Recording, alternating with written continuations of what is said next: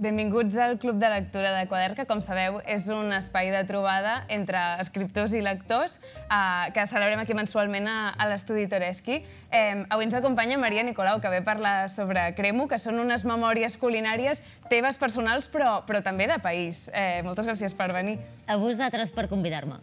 Eh, aquest és el segon llibre, eh, és el, el que s'ha escrit directament després de l'èxit de, de Cuina o Barbàrie, que segurament Eh, bueno, va ser un fenomen que segurament ha fet que molta gent, quan va al supermercat, deixi de comprar salmó o el compri amb una mica més de recança, no? És un, vull dir, és un llibre que, que va, va ser es, un fenomen no només per al número de vendes, que també, sinó perquè jo crec que és important remarcar que va fer forat. Vull dir que des d'aquest llibre vam començar a parlar sobre la cuina i sobre el menjar d'una manera, manera diferent. Per què creus que ha passat? Creus que hi havia aquest buit Home, sí, de fet, aquest, eh, això és el motiu per posar-se a escriure un llibre. Jo tinc la sensació que si... Bueno, no sé com ho fan els altres escriptors, però, però amb el car que, que, que està tot, amb, amb, amb com de difícil era, almenys en aquell moment, a més a més, eh, trobar paper, perquè Amazon se'l queda per fabricar caixes i resulta que després hi ha escassetat de paper, um, no val la pena gastar-ne per dir coses que altres ja han dit probablement millor que tu, no? Jo crec que la, la, la necessitat de fer aquest llibre venia de l'estupefacció de, de, de, de trobar a faltar coses que encara ningú no havia dit, jo necessitava dir-les, mm. les vaig dir el millor que vaig saber i, i, i tal com van sortir, i resulta que, que hi havia altra gent també que trobava a faltar aquesta forma de, de veure les coses. Mm. Sí, sembla que ara, ara de fet ho estàvem parlant abans de començar, eh, que es trobava falta algú que parlés durant moltes pàgines sobre una cosa tan quotidiana com la crema de verdures, no? Vull dir que els llibres de cuina potser... T'he vist de fet alguna vegada dir que, que, que ens, potser ens estàvem enganyant pensant en la cuina en, en, a nivell literari d'una manera potser massa elitista o massa... Quin era el, el, el problema? Bueno, jo crec que són, són diversos problemes a l'hora. D'entrada, eh, portem 30 anys parlant de cuina eh, però pensant en la cuina que es fa als restaurants, i no a tots els restaurants, sinó als restaurants de l'elit. Hem tingut una revolució gastronòmica que s'ha donat eh, gràcies a, a un nom seguit d'uns quants, bueno, uns quants noms que han sigut book insigne a nivell internacional del que és la cuina de l'elit, que em nego a dir-ne alta cuina perquè llavors per, o sigui, per defecte la resta és baixa cuina i això és una cosa que em desagrada, uh -huh. eh, sinó que és la cuina de l'elit, que és una cuina eh, que ha fet una revolució que ha tingut un impacte mundial i el, la forma de comunicar la cuina ha begut una mica de, de com es parlava, en quins termes es parlava de cuina des d'aquesta esfera. I mentrestant a casa la gent feia crema de carbassó, o feia patata i mongeta tendra, o feia sopeta de, de pistons, eh, i, segui, i tenia por de coure mongetes. Uh -huh. Coses que, que s'han fet tota la vida, que es fan a casa i que, i que penso que no se'n parlava, i que cada cop es feien menys anaven desapareixent, no passaven a la generació següent, i a mi aquesta urgència i aquesta, aquesta emergència, perquè a mi és una emergència nacional, eh, em semblava eh, flagrant i em semblava greu i, i vaig tenir la sensació de, de no només de parlar de receptes diferents, sinó de, de desmuntar el concepte de recepta com a punt de partida a l'hora de parlar de cuina, uh -huh. de eliminar les referències al que és les tècniques i les dinàmiques pròpies de la cuina professional a l'hora d'abordar la cuina de casa, perquè són dues disciplines diferents, que, malgrat que aplicades donen com a resultat una cosa comestible, no es regeixen per les mateixes lleis i normes, no tenen les mateixes dinàmiques, no es compra igual, no es fan servir les mateixes eines, ni tan sols els mateixos ingredients. I quan, hem, quan la cuina domèstica se l'ha anat encaminant a emular el que passava als restaurants, què ha passat? L'hecatombe que no cuina ningú, perquè és molt poc pràctic fer el que es fa als restaurants, de la gamma que siguin, a casa. Llavors, el llibre, el primer llibre anava eh, encaminat a, a, a llançar un missil als fonaments d'aquesta perspectiva, d'aquest punt de vista pel que fa a la cuina. Mm. Um, és evident uh, que era una necessitat que hi havia i a mi em fa gràcia perquè des de, des de llavors, en parlarem ara, eh, però, però has deixat la cuina en si, t'has dedicat a l'escriptura i la comunicació, ara tens seccions i programes... I a la cuina a casa, fixa't. A la cuina, clar, clar és veritat, fixa't, jo acabo de cometre jo mateixa l'error. No, però és una, és un, és, és, no és un error, és, és no, una no, associació lògica que sembla senzilla, però jo ara tinc temps de cuinar de la forma que jo explico en els meus llibres. Uh -huh. uh, uh, durant moltes èpoques de la meva vida no he tingut temps de cuinar a casa perquè estava fent de cuinera en un restaurant. I hi ha, hi ha un moment en què, en, què, en què jo aquesta tensió dramàtica no la puc sostenir. Uh -huh. I, I em sembla rellevant posar-ho sobre la taula, perquè, eh, no sé, quan la gent em veu, el tot es mou, amb la Melero, quan la gent eh, eh, em veu des de casa, cuinant a casa, mm. I, i jo ara tinc temps de cuinar a casa, i abans no en tenia. Uh -huh. I a mi em sembla important, perquè d'aquesta manera jo penso, o almenys pretenc, intento o m'hi esforço, a fer servir a, a posar sobre la taula de la melera del Tot es mou els problemes i les receptes que jo faig a casa meva i que, per tant, constato que funcionen, que són pràctiques, que se solucionen i a vegades, fins i tot en directe, em trobo amb els mateixos problemes, dificultats i errors que poden passar a casa. I a, i a mi això, això que potser pot semblar que ho fa, que ho fa més rústec, ho fa viu i ho fa real i, i, i crec que és el que potser fa útil o fa que jo tingui la micona d'èxit que, que, que, que pugui tenir mentre es duri aquest suflé Maria Nicolau, que tothom creu que hi ha, no? Maria Nicolau. A mi fa gràcia perquè em fa l'efecte que t'has convertit en una mena d'oracle. O sigui, és una tonteria, però, però jo a vegades veig a Twitter gent dient escolta, Maria, si tinc eh, un porro, una patata i, i, no sé, i una ceba, què faig amb això? Vull dir que veig que, que d'alguna manera la gent acudeix a tu com perquè solucionis aquestes necessitats quotidianes, que al final va d'això. I a mi m'al·lucina mira, fa tres dies vaig penjar uh, la fotografia de... Vaig penjar primer una frase, vaig dir, tinc, tinc cigrons, tinc rovellons, tinc gambes, tinc galls, res no em pot parar. D'acord? Uh, dues hores després uh, vaig penjar una fotografia d'un saltat, d'una ulleta, o sigui, un guisat de cigrons, gambes, alls i rovellons automàticament, tant a Instagram com a Twitter, van aparèixer tota una sèrie de missatges eh, que deien passa'ns la recepta. Jo pensava, a veure... Però si ja la teniu aquí. Si jo et dic... Uh, uh, quatre, dic, tinc quatre paraules, tinc tres paraules. La porta és verda. Tinc quatre paraules. La porta és verda. I després, al cap de dues hores, faig una frase. La porta és verda. Culturalment, nosaltres hauríem d'estar infectats de la llengua materna culinària catalana. Uh, si jo veig uh, bistecs de vedella, farina, moixernons i ceba, no fa falta preguntar la recepta, és un fricandó. I no, fa, no hauria de fer falta, a aquestes altures, havent publicat tants receptaris, havent, no hauria de fer falta que algú expliqui que amb allò que, amb allò que aquells quatre ingredients, jo el que faig és marcar les gambes i amb el suquet torradet que deixen les gambes a la paella, la retiro, allà hi fico l'all talladet. Després hi fico els rovellons, tac, tac, tac, deixo que deixin anar la, el suc, l'aigua dels rovellons. Aquell suc em desenganxa el cremadet de les gambes, es transforma en una salsa. Allà hi aboco els cigrons amb la mateixa aigua del cigró, que la conserva era boníssima, i allò em fa una ulleta que deixo que redueixi aquell suc, es torni a concentrar amb el sabor de les gambes i tinc un plat que són 10 minuts de rellotge de fer, que és cuina catalana, que és què tinc al rebost i com ho confegeixo, perquè la suma sigui més gran que, que, que l'edició de les seves parts. Uh -huh. I és cuina catalana. I, i no, o sigui, a mi el que m'espervera és que aquestes alçades em demanin la recepta. Això no té recepta. Si no hagués tingut cigrons i hagués tingut fideus, hagués fet uns fideus a la cassola amb els mateixos ingredients. No hagués tingut fideus, hagués tingut arròs, hagués fet arròs a la cassola. Uh -huh. I si no hagués tingut res d'això, hagués, mira, agafat quatre patates fregides, xafades a sobre el suc de les gambes i amb els rovellons i amb l'all i hagués fet un trinxadet i, i, i entendre això, entendre que les receptes no serveixen per res, és el que potser ens farà tornar a la llengua eh, culinària catalana, que jo crec que és la que hem de, de, de fer ressorgir igual que l'altra. I no me'n recordo de què m'has preguntat. Ja està bé.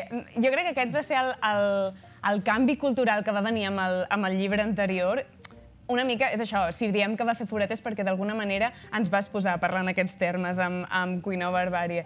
El que, però, però hem, després ha vingut Cremo, i Cremo, sí. aquest, evidentment, tota aquesta, aquesta filosofia uh, continua vigent, però allà, um, com dèiem, són unes memòries i et fixes també en, en un fet que no apareixia en el llibre anterior, que és tot el, el sistema, o sigui, en l'ofici, els restaurants, els, els, els directors de restaurants, o sigui, fas una... I de fet es diu Cremo, que sembla una mica una unes, et venen certes ganes de cremar-ho tot quan, quan, quan llegeixes segons quines situacions de, de precarietat en el sector, no? Que has Hi ha volgut... de tot. A, a veure, eh, jo entenc una mica que aquest segon llibre és com una mena de germàcia més del primer. O sigui, el primer uh -huh. és cuina a, a, a fondo, i és agafar el lector, eh, agafar-lo per les galtones i dir-li, fes el favor, mira què hi ha dintre la cassola, mira aquests efluvis, mira aquests ingredients, què està passant, quines històries podem aprendre, com podem entendre i desxifrar l'alquímia d'aquest sofregit. I el segon llibre és, o sigui, en el primer llibre hi ha com visc jo i com entenc la cuina. I en el segon llibre hi ha eh, eh, el lector ficat a dintre del cos de la persona que mou la cullera, a dins d'una cuina professional i el porto potser a, a, a acompanyar-me al llarg de la meva trajectòria com a cuinera professional, una trajectòria eh, que s'explica eh, perquè jo entenc la cuina d'aquella manera i això fa que s'entenguin algunes decisions a vegades incomprensibles i també el fet de que aquesta història de vida i totes aquestes experiències fan que jo sigui la cuinera que sóc. Vull dir que tots els llibres són, són, són germans, no? Mm -hmm. I s'expliquen l'un a l'altre. I el segon, clar, què ens passa? Que, que parlo de la cuina a dintre els restaurants, parlo de la cuina a, a les cases, històricament, i parlo també dels comensals que es mengen aquella cuina, perquè els últims 30 anys de vida jo em faig servir a mi com a buc expiatori, no perquè cregui que tinc edat suficient per escriure unes memòries, no? Uh, però sí perquè crec que la meva experiència em pot, em pot servir pues, per, per invocar-me com a font primària. Us explico el que veig. Em faig servir a mi perquè és el punt de partida, no? però l'important és què estic pensant mentre veig això que veig, mentre faig això que faig i mentre em passa el que em passa, eh, en un temps en què tots els, els lectors que llegeixen el llibre també hi eren i poden dir, hòstia, uh -huh. així es vivia a l'altra banda, ostres, jo me'n recordo dels cupcakes, ostres, jo me'n recordo dels chetos pelotazos, ostres, jo me'n recordo quan apareixen els restaurants xinesos a Catalunya, no? I és un viatge que, que crec que, que hi som tots. Uh -huh. I en el, en el cas de, dels restaurants, hi ha alguna acusació amb el dit. Hi ha, hi ha un moment en el que parles sobre el teu pas pel vela i parles sobre tots aquests cuiners que han sortit una mica de, de l'estela de, del bulli. Um, què, què, què ha fet en el panorama de la cuina catalana que tot aquesta, aquest, va haver-hi un moment àlgid, que ara és això, per, perquè han aparegut altres veus, doncs potser ha quedat més, més difuminat, però què, què hi va passar en aquell moment? Bueno, tampoc farem spoiler, no? Però, però um, a veure, el tema és, des de... Fixa't, um, això canta molt i crida molt l'atenció perquè estem parlant d'alta gastronomia i de, i de, i de l'elit, no? Mm. Però des de la primera experiència, fins a la segona, fins a la tercera, tant a bars de barri com a restaurants de poble, com a orxateries de, de, de capitals de província, hi ha gent noble que s'estima l'ofici eh, i s'estima l'artesania i hi ha mangantes a tots els estrats. Llavors, um, clar, jo, jo el que explico és la meva experiència i una experiència que és compartida des de l'assalariat d'aquest món. Mm perquè hi ha hagut llibres de xefs, si hi ha hagut alguna cosa comunicativament, gastronòmicament parlant, en els últims 30 anys han sigut llibres de cuiners o llibres de xefs. I han sigut sempre llibres escrits, històries escrites des de qui portava la batuta. Pues jo he escrit aquest des de la perspectiva de qui treballa pel que porta la batuta, que crec que és que, a més a més, són moltíssima més gent. Llavors, la, la història pot ressonar amb, amb molts altres cuiners i alhora amb gent d'altres àmbits i altres oficis, eh, on aquesta natura humana eh, aflora des del el sector dels periodistes fins al gremi dels arquitectes, fins al dels mecànics de cotxes. Eh, el drama és el mateix. La pèrdua de l'artesania, la pèrdua de, de la humanitat en el lloc de treball, a, a canvi d'alguna altra cosa, no? I, I llavors, clar, surten, surt de tot i aflora de tot. Mm. Um, com, com has dit, és això, a partir, a partir de les teves memòries també són les memòries doncs, de, de la restauració a Catalunya, però també del que hem menjat a les nostres cases, i però també hi ha una altra història que surt una mica tangencialment, però, però suposo que per, per, per defecte d'ofici m'hi he fixat, que és la història del periodisme gastronòmic, que va apareixent una sí. mica. Um, M'interessa saber com ho veus, perquè és això, hi ha algun moment en el que parles de la crítica gastronòmica i, i el seu efecte en alguns moments, no? Um, no me'n recordo en quin cas és, però parles d'una crítica destructiva, no sé quin restaurant on, sí. on estàs treballant, que, que fa mal, i també amb, amb el periodisme, doncs, no fent res per explicar bé la història, de, eh, un periodisme que només reproduïa uh, notes de premsa en segons quins moments. Vull dir, que, quina, en, quina ha sigut l'evolució dels últims anys del periodisme gastronòmic i com el veus ara? fixa't que li estàs fent aquesta pregunta a una cuinera, eh? És gros sí, sí, que jo sí. hagi de, de, de respondre a temes de, de grossíssims. Prou costa fer bé un fricandó a la vida, com tants oficis alhora. Um, una de les coses que ha passat eh, és que el, el periodista gastronòmic aquests anys ha fet uh, crònica del que vivia des de la posició del client. Estava tothom tan excitat i tan entusiasmat per, per, la, per aquesta revolució que movia, a més a més, tants calés i que estava pues, poblada de noms que, que és cert que venien molts exemplars de, de revistes i de diaris, que tothom estava molt encantat d'haver-se conegut i d'estar vivint aquell moment. I tothom compartia la bona nova i els focs artificials. Però clar, els focs artificials són el que passa allà dalt al cel. I tothom explicava aquests focs artificials. I ningú esperava veure qui era que ensenia la metge, com estava organitzat aquell sistema. Um, o sigui, no hi va haver-hi cap moment en 30 anys en què algú, exceptuant uns roses, uh, uns rosos casos, que algú anés a l'altra banda de la cortina i veiés, a veure, a llocs de qui s'estan vestint aquestes piràmides? Uh, com ho tenim, això de, de, de, no sé, qui frega els plats? Com, com, com funciona? No és que no hi hagués aquest... És que no, no es va fer aquesta pregunta no, no era important. Llavors jo em pregunto, clar, jo crec que el, el periodisme eh, senti... o sigui, quan, jo no sóc periodista ni sóc expert en periodisme, però sí que és cert que s'espera que el periodista eh, expliqui de forma freda eh, les històries i faci una mica de crònica de què està passant. Però clar, per poder ser eh, fidel a la realitat i explicar la realitat, has de veure-la tota o com a mínim el màxim que puguis si no pots estar mirant sempre només en una direcció perquè no existeix revolució ni fet històric amb un mínim de calat o que sigui rellevant, que no tingui molts, moltes cares, que no sigui un prisma que té moltes maneres de, de, de ser viscut. I, clar, faltaven moltes perspectives i molts punts de vista d'aquesta revolució, que no va ser blanca, tampoc va ser negra, però que està prenyada de gammes de grisos i de, i de, i de coses que s'han d'explicar. Uh -huh. um, una cosa que, que també es fa des del periodisme és fer-se ressò de, de, de les tendències, que les tendències en el món de, de la gastronomia és una cosa que ha anat passant, de fet tu reflecteixes, abans has mencionat això, el moment en el que apareixen a les nostres vides els cupcakes, que és una cosa que abans... Que a part, això eh, em fa gràcia perquè els caracteritzes una mica, els cupcakes. Hi ha un moment en el que els compares com, com si fossin això, una senyora amb un davantal, amb aquest esperit servicial, no? Vull dir, sí. tenen com certa, bueno, cert és, és una cosa, és una cosa de, de, de mestressa de casa dels anys 50, de complaure uh -huh. i, de, i de rebre el marit amb un davantal impecable, un, un, un pentinat estupendo, una cintureta de vespa, la, la, saps? aquesta cosa així, i, i té les madalenes decorades. Clar, eh, jo crec que és un... És un és, eh, o sigui, els cupcakes són a la pastisseria el que la Barbie és a jugar. I està bé tenir una Barbie, però, hòstia, la pastisseria... Past en deien pastisseria creativa, i era copiar receptes de blocs.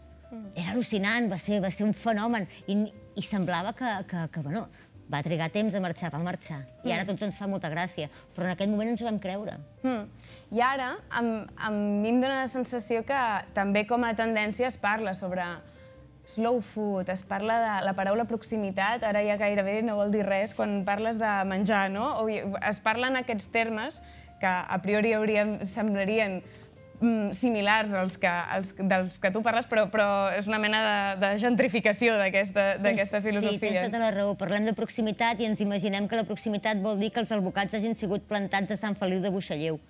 Com si a Sant Feliu de Buixalleu poguessis invocar, paf, un clima subtropical i, i no assecar els aqüífers del Montseny per tal de que tu puguis tenir albocats a taula. O sigui, D'entrada hi ha dues coses, no? Vivim, una me... Vivim com infectats d'aquesta mena d'esperit de Bienvenido Mr. Marshall, que ens fa aplaudir tot el que ve de fora, encara que això que ve de fora no sigui modern, perquè fa 2.000 anys que ja es fa en un altre lloc, com el ramen o com el sushi. O com...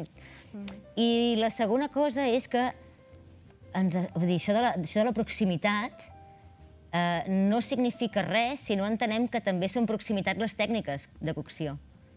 És a dir, aquí eh, no sé si el, el, algú del club de lectura o, o tu mateixa, algú, a veure si algú és capaç d'imaginar-se una recepta de carn o peix a la planxa en un receptari de cuina tradicional catalana que, tingui, que sigui escrit abans, abans dels anys 60. No existeix. Però en canvi ara resulta que fer cuina de proximitat significa fer un bistec de vedella a la planxa o un peix a la planxa que hagi sigut eh, un peix a la planxa, eh, acompanyat de brots i germinats cultivats aquí, encara que no tingui cap sentit. Eh, em remeto allò de la llengua materna culinària, és a dir, ha de ser proximitat la forma d'entendre la cuina ha de ser proximitat la, la tècnica de cocció que estem fent servir. Aquí no s'han servit mai primer i segon plat a taula. Aquí es posava l'olla al mig i al costat hi havia un plat d'amanida, que potser era una mica d'api amanit, o una mica de, de tomàquet i ceba, o una mica de ceba i quatre olives, o una mica de tomàquet amb un raig d'oli, o quatre fulles d'escarola si no era el temps. Hi havia l'amanida, hi havia el pa, hi havia el vi, hi havia l'aigua i hi havia la cassola. Llavors cadascú se servia però no s'ha emplatat mai una carn amb una guarnició de segon i una amanida amb una salsa de primer. No existeix aquest, aquest llenguatge. I clar, és que ens hem pensat que, que cuina, cuina catalana era fer, eh, no sé, coses que no tenen per mi cap sentit. Cap sentit. Eh, hem abandonat aquest concepte de l'olla, el concepte de que les coses es cuinin juntes i aquesta cosa de que la novetat és per ser millor. Hòstia, no hi ha res millor que un romesco de peix ben fet. No existeix. És impossible. És imbatible. És la millor... Eh, és una catedral culinària. No hi ha cap altre país del món que els faci. Cap altre lloc. O sigui, el que hi ha, o el que hi ha dins d'una sarsuela. O ja et dic, és que el romesco de peix, aquesta picada que funciona com, com, com, com una... Com una no sé, com una mena de, de catedral que els construeix al costat del, al voltant del peix i, i, i fa que tot el que hi ha allà dintre brilli més que res es fan cassola. Comparar, o sigui, rebutjar això, que es fan 40 minuts per fer un coll de peix a la planxa, acompanyat amb quatre fulles de rúcula i mig albocat tallat amb un raig d'oli, i dir que això és proximitat perquè el peix ha sigut criat aquí, perquè l'albocat ha sigut importat d'algun puesto i empaltat en aquesta terra a base d'hivernacles i de fotre-li regadius, ostres, estem tarats, és una bogeria és una bogeria. Uh -huh. Llavors et diuen, no, és que ara ens hem de comprar la vaporera, hem de cuidar, cuinar al vapor, perquè és molt més sa i molt més nutritiu. En aquest país ofegàvem. Ja és una cocció al vapor, les faves ofegades. Es cuinen amb set, amb sec, i amb el vapor que exhalen elles mateixes, amb allò que suen, es fan ofegades, com la sípia, com els calamarsets, com els pèsols ofegats. Però no, ara hem de regar aquest receptari i fer, eh, eh comprar col cale i fer-la al vapor. És, és al·lucinant. I jo em pregunto, clar, i, i després quan jo ho dic tothom diu ai sí, Maria, tens raó, ai sí, aquesta nena té raó. Però, però per què ningú més ho deia? Per què ens hem deixat entabanar? I mira, m'encigalo i de seguida em bull la sang. Ja vaig escriure el llibre i no se'm passen les ganes de sacsejar el país per les solapes. Això és el que t'anava no a dir. No ho puc entendre. Que realment parles d'una manera que fa dir com sí, sí, sí, tens tota la raó. No, és que, mira, ja cardo el mòbil a tomar pel cul, perdó. És que Carlota, si deixem de fer nosaltres romesco, s'ha acabat. No el faran els tailandesos, no el faran els coreans, no el faran els gallecs. Faran altres coses, faran les seves, no són millors, no són pitjors, però la nostra no la farà ningú més. La patata i mongeta tendra passada per la paella amb una mica de cansalada i una mica d'all. Qui més ho fa al món? Ningú. Jo crec I que els últims anys més gent gràcies a, a això. Perquè, perquè em faig un fart d'estripar-me la camisa pels puestos, Exacte. que sembla una predicadora calvinista, sembla una vendedora de crece pelos, que vaig poble a poble a dir-li a la gent sisplau, desperteu, ens estan venint la moto. Exacte. Escolta'm, abans de, abans de passar al Club de Lectura, que, que segur que parlarem d'això, um, hem parlat d'aquesta part, tant de la part gastronòmica, política del llibre, però al final els, tu, els, els teus assajos són assajos literaris en el sentit de que hi ha, un, hi ha una idea sobre la llengua, són assajos molt ben escrits, hi ha un, tens referents de literatura gastronòmica, com ara els últims anys hem pogut llegir la Fischer en català, mm. um, per, que tu mateixa vas prologar, um, el, el llibre El meu joc gastronòmic a l'altre. Um, Volia preguntar respecte, per el fet de que, de que hi apareix aquest jo respecte a Cuina o Barbària, hi ha, hi ha cert i ser, o sigui, és, una, és més literari que, que Cuina o Barbària. Com ha sigut aquest, aquest canvi? bueno, no és un canvi, és una continuació, però... Sí, a veure, jo, jo m'hi poso molt de respecte i molta reverència al món de, de, de, de la literatura o de, o, de, o de la llengua o de l'escriure. Perquè així com... A veure, jo la cuina a nivell professional l'he exercit durant més de 25 anys. I ja no em fa por. No perquè sigui més que ningú, ni tingui talents especials, ni sinó perquè hi he fotut moltes hores. si fas una mica de números, són 80.000 hores treballades. O sigui, si després de 80.000 hores invertides de tallar ceba, sofregir ceba, no ho fas una mica no bé, més val que pleguis. Llavors, a mi la cuina, el meu ofici, m'he fet un oficial de primera competent i, i no em fa por. Em veig solvent, és una persona que ara em posa en aquest restaurant, en aquest altre, poc o molt, al cap d'un parell de dies ja li pillaré el truquillo. Val, escriure... Jo ja fa més de 12 anys que escric sense que ningú em llegís. Vull dir, també m'ha costat eh, practicar i anar-ne aprenent i llegir molt. I ho faig el millor que puc i el millor que sé. Però el que sí que puc dir és que, és que m'importa i m'interessa i paro atenció al fet que el llibre es pugui llegir. No sigui... Perquè un dels, una de les coses que passa amb els llibres gastronòmics o els llibres de cuina és que són els llibres, el gènere més venut dins de la, del, del calaix de la no ficció, uh -huh. i les xifres són, són públiques, són el gènere més venut perquè és un llibre, el llibre culinari és un llibre que, que té fotografies, que és llampant, que, que té tapa dura, que, que fan bonica la prestatgeria, les tipografies estan molt cuidades, i alhora és el llibre menys llegit, és a dir, eh, només el 18% dels llibres de cuina que es venen en aquest país es fullegen més enllà dels dos primers dies després de que te l'hagin regalat. O sigui, el llibre de cuina eh, eh, sàcia la necessitat, satisfà la necessitat de regalar alguna cosa a qui no saps ben bé què regalar-li i és una senyora en general. Uh -huh. eh, jo volia que fos un llibre que es pogués llegir, que tingués un mínim de qualitat literària fins on el meu talent i el meu ofici em permetessin arribar. Però no volia deixar això a la recàmera. I tampoc hi he ficat fotos. I, de fet, les receptes estan empaltades amb el text, vull dir que quan apareixen has de, has de seguir la línia de, del text sí. per, per... I en el cas de...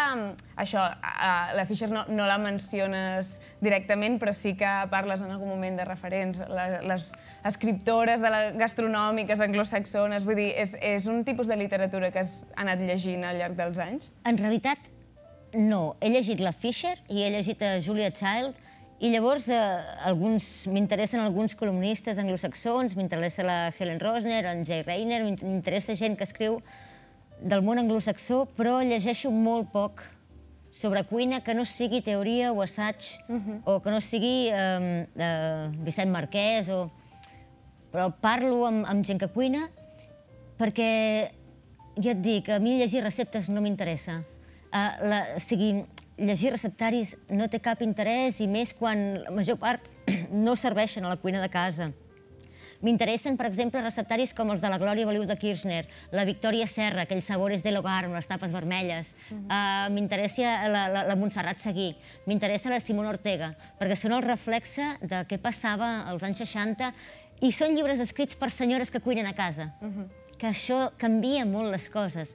No són llibres escrits per xefs que cuinen al restaurant i que implementen o, o prediquen la seva forma d'exercir de, de, la cuina al restaurant cap a les senyores de casa, sinó que aquestes dones que van substituir a la secció femenina de la falange a l'hora d'instruir les dones en l'art de ser mestresses de casa o de fer les feines a la cuina, aquestes dones eren veus amigues, parlaven de tu a tu, eren autoritats en la cuina de casa perquè havien cuinat a casa i eren germanes d'aquella dona que s'acabava de casar i tenia aquell vertigen i aquella por de fer aquell salt que, que, que va de, de, de, de la llar familiar a la llar conjugal.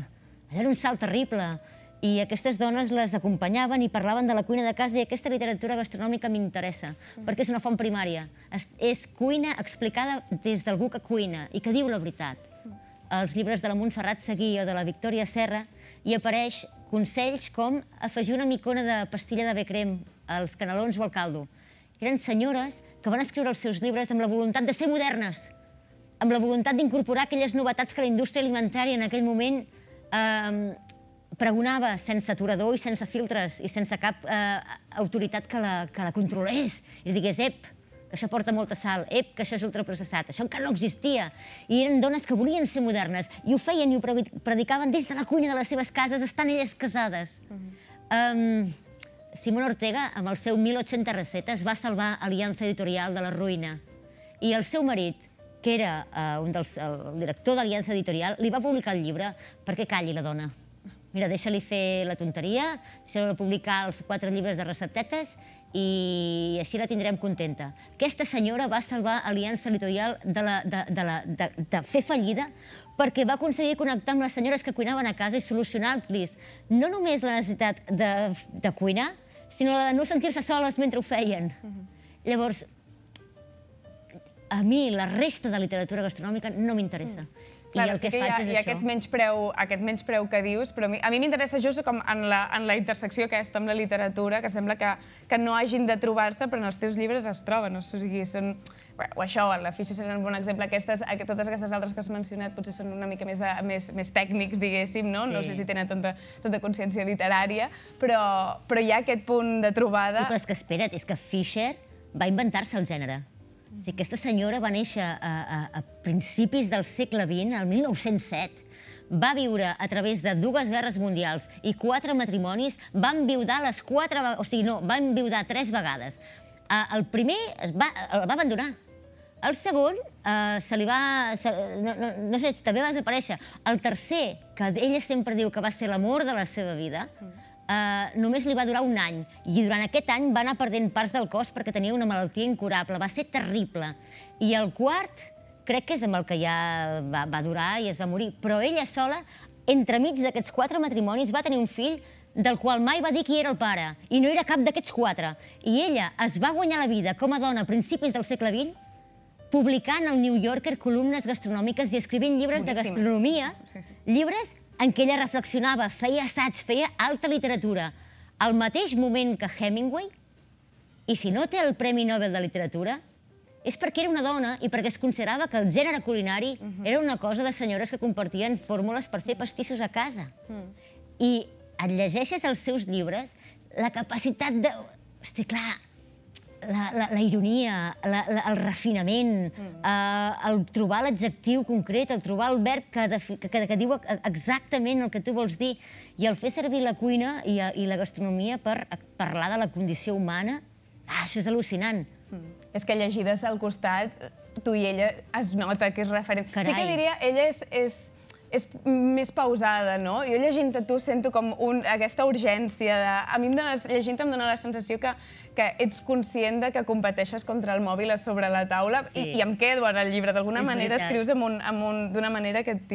Sí. Això, urgència jo crec que seria la paraula. Ella té aquest, potser és un, només un punt més de burgesament. Com Pens, ella... Anava a dir-te precisament això. Fisher és una senyora que va tenir accés a, a, a, a estudis superiors, és una senyora de classe alta, sí, sí, sí. Eh, adinerada, i que no va treballar mai de cunyera. Ella parla des d'un estat, si tu vols, de privilegi, però tot i que el seu nivell de privilegi és bastant qüestionable. I jo parlo contra la fi del món. Sí, el món s'acaba. El món culinari, si, si no hi fem alguna cosa, s'acaba. Parlo contra la fi del món, parlo eh, amb molta por de, de fer perdre el temps a la gent, perquè jo sóc una persona que creu que que no serveix de res dir. Necessito empènyer la gent a fer alguna cosa i fer coses senzilles, eh? No cal enviar el primogènit a la batalla de l'Ebre ni renunciar a la nòmina del mes que ve. Cal potser triar l'enciam que va fora de la bossa en lloc de l'enciam que va dins de la bossa. Eh, cal potser, en lloc de fer el peix, la, el salmó a la planxa, fer uns fideuats de cassola amb 4, 400 grams de morralla, mm. saps? Coses senzilles, però necessito empènyer la gent a fer alguna cosa ara i aquí, perquè aquest temps és l'únic que tenim. Mm -hmm. Escolta'm, haurem de, haurem de passar al club de lectura. Última pregunta molt ràpida, perquè clar, ara el, en aquest llibre hi ha un epíleg en el que expliques que, que penges el davantal, que t'has comprat una casa, que tens la intenció de tenir un hortet, que et vols dedicar a escriure i fins i tot... O sigui, Cuina Barbària i Cremo semblen dos llibres, eh, són, ja ho hem dit abans, complementaris i donen certa sensació de, de tancament o de circularitat, no? Ara, ara què? No et preguntaré si estàs escrivint aquestes coses que, que fan molta mandra de respondre, però, però com, com ho enfoques? Perquè ara, ara la idea és um, quedar-te en l'àmbit de l'escriptura i la comunicació i, i anar fent? Mira, jo, jo crec que, que qualsevol persona que es llegeixi el llibre entendrà a l'última pàgina quan, quan ho tanqui de, ostres, aquesta nana necessita parar. necessita descansar. Jo crec que el descans me l'he guanyat, el descans físic, uh -huh. perquè no paro. És a dir, sembla que tingui sentiment de culpa i, per tant, la Catalunya m'ha d'anar veient pels puestos perquè no fos cas que aquesta noia el meu pare sempre em diu, bueno, ara que no treballes pots passar més. Dic, no treballo, no treballo. no paro. Uh, a veure, um, ara estic aprofitant um, l'oportunitat de, de, de poder expressar com veig la cuina, poder compartir-la per intentar que arribi al màxim de gent possible, eh, per intentar eh, fer-li el tom, no? Jo, jo crec que, que... O sigui, recupero una mica les paraules d'un bon amic, bueno, d'en Miquel Bonet, que sempre a vegades em deia, venia, venia, venia a, a dinar allà al Ferrer i a vegades deia Maria, està molt bé tot això, tot és boníssim, però ets més valuosa per la cuina catalana, pel que treus per la boca, que no pas pel que fiques a les dels altres. Mm. I a mi cuinar m'encanta i m'ha donat la vida. I ara ho faig a casa més que mai i, i això em salva. Però, clar, tinc l'oportunitat d'explicar-me de, uh -huh. i d'intentar, ja et dic, fer alguna cosa. Molt bé. Um, continuarem parlant d'això ara al Club de Lectura. Uh, per qui estigui escoltant això en vídeo o en podcast, recordar que la pròxima sessió serà el dia eh, 12 de desembre. Vindrà Joan Jordi Miralles a parlar sobre la novel·la Triomfador, que és una història sobre pressió i maltractament a la masia del Barça. I moltes gràcies per escoltar-nos.